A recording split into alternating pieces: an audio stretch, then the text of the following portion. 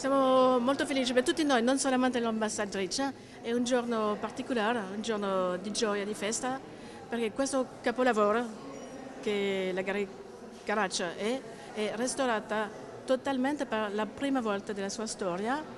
E questo restauro globale è una esempio di buona cooperazione fra l'Italia e la Francia e anche la squadra internazionale che ha fatto gli aiuti, il mecenato e tutti che hanno lavorato. Il risultato è fantastico, secondo me perfetto e vicino alla cosa che hanno voluto i fratelli Caraccia e Farnese quando hanno fatto questo capolavoro.